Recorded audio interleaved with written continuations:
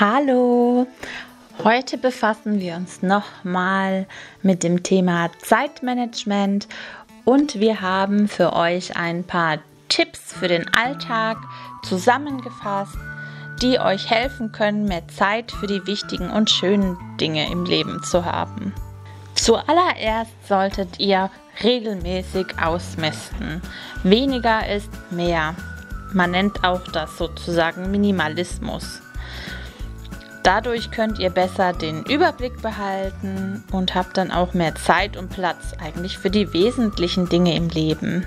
Ihr solltet auch euren Arbeitsplatz regelmäßig aufräumen, also wo ihr lernt und arbeitet und eure Hausaufgaben macht.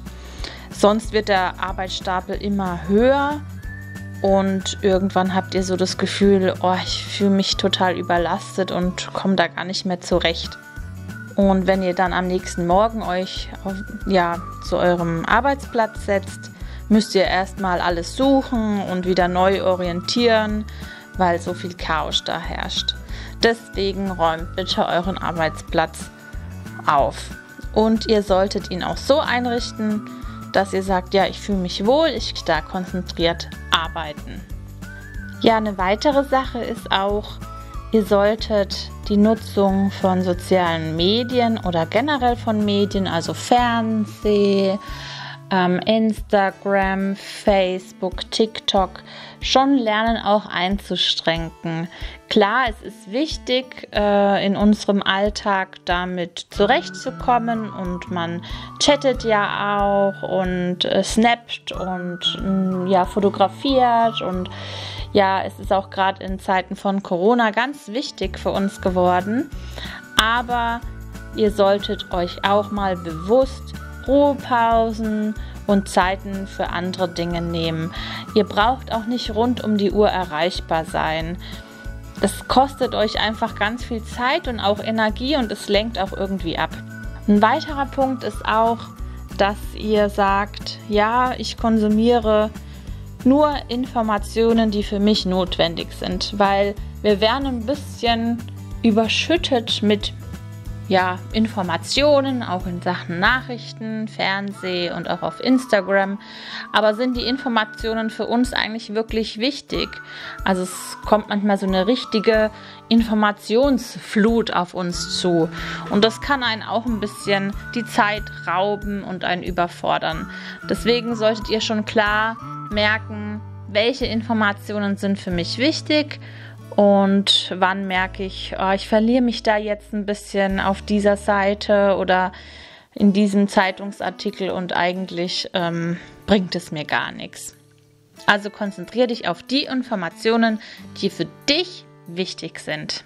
Ihr solltet auch den Tag mal produktiv verbringen und mal selbst was machen und nicht nur die ganze Zeit passiv vor Instagram, vor den Medien sitzen und vorm Fernseher hocken, sondern auch ja, die Zeit mal sinnvoll für sich nutzen. Was tut mir eigentlich gut? Was mache ich im realen Leben auch ganz gerne? Und ihr solltet vielleicht ja euch wieder mal orientieren nach neuen Freundschaften oder auch gucken, ja, wo sind denn ähm, Gleichgesinnte, auch doch ein Hobby. Vielleicht fangt ihr mal ein neues Hobby an, probiert was Neues aus.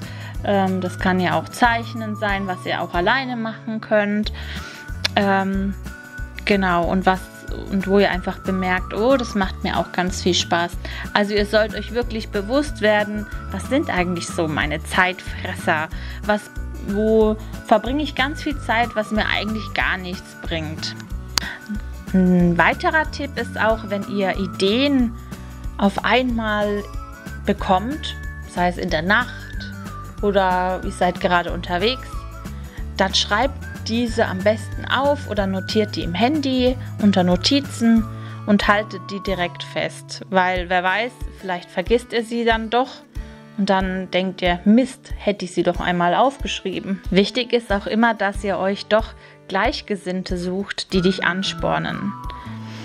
Also Gleichgesinnte machen auch einfach gute Laune. Die können dich wirklich hochziehen. Ein weiterer wichtiger Punkt ist auch Nein sagen können. Also selbst Grenzen setzen können.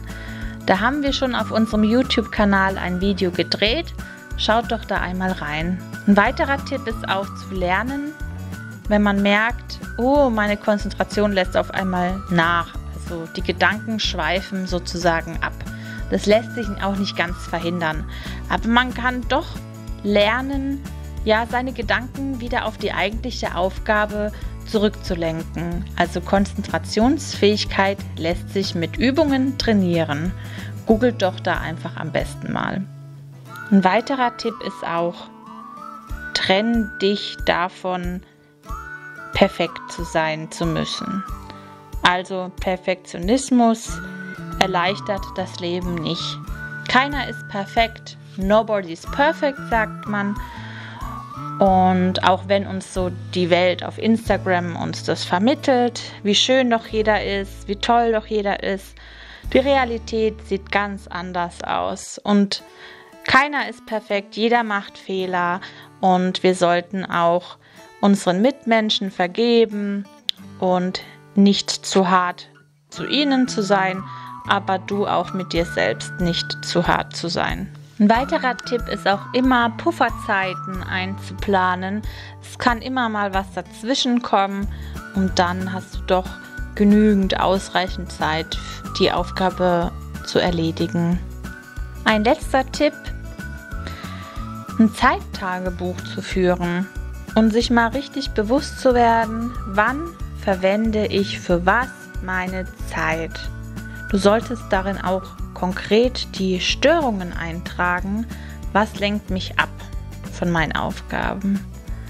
Und mir hilft es auch persönlich immer, To-Do-Listen zu führen und diese dann durchzustreichen oder abzuhaken, wenn ich fertig damit bin.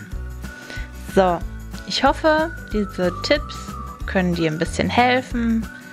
Und in diesem Sinne sage ich einfach nur Carp Diem. Das heißt, Nutze den Tag, aber genieße ihn auch. Viel Spaß!